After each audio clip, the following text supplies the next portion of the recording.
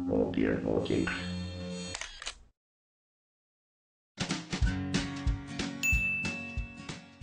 Hello, kamusta mga idol? NC Chris TV po dito sa New Zealand. At nandito na naman para mapagbigay ng bagong impormasyon regarding sa pag-apply dito. So maraming maraming salamat po muna sa lahat ng mga nag-views, nagla-like at lalo na sa mga nag-share ng video ko para makatulong tayo sa mga nahihirapan sa ibang bansa ng mga kababayan natin OFW. At sa mga hindi pa po napag-subscribe dyan, please subscribe this channel para mabigyan pa po kayo ng iba pang mga impormasyon regarding dito. So guys, ito pong video na to is ginawa ko para makapagbigay ng kasagutan sa mga nagtatanong sa akin about sa placement fee dito sa New Zealand. So yan po mga idol, isa po sa dapat natin pagkaingatan lalo na pag nag-apply tayo sa abroad. So once na may kumausap sa inyo ng mga agent at agency, uh, lagi nyo po silang i-double check sa DMW o domestic uh, migrant workers. Uh, dati siyang PUA kung accredited po ba siya na magpalabas ng mga Pilipino sa ibang bansa. Yan pong uh, placement fee sa New Zealand is wala pong babayaran.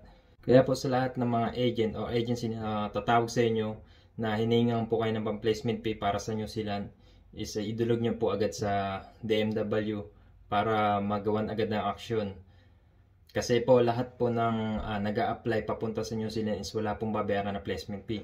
Ang pinakagastos lang guys, mga idol sa pag-apply dito sa New Zealand is yung medical tsaka paglakad-lakad nyo ng papel para sa agency. So yun po yung pinakagastos natin. So ulitin ko po guys, wala po kayong babayaran na kahit magkano para sa placement fee. Ang magbabayad niyan is yung employer nyo. Kaya yun lang po yung pinakagastos nyo talaga yung medical at wala na kayong ibang babayaran pa. Sa mga idol, bukod po dyan sa placement fee is yung plane ticket. So, once na maselect kayo ng employer sa interview, nakapasa kayo sa medical, at uh, na-provide nyo lahat ng documents na kailangan ng mga agency at na-verified is yung plane ticket is ibibigay sa inyo kasama na yun yung visa nyo, work visa nyo. At yan po sa plane ticket is wala po kayong babayaran na kahit magkano. So yan lang po talaga yung pinagastos natin dito sa pag-apply ng New Zealand. Yung medical lang po talaga at saka yung pag uh, lakad-lakad para maproseso yung uh, apply natin dito. At ayan po mga idol yung maibibigay ko sa inyong uh, impormasyon at advice.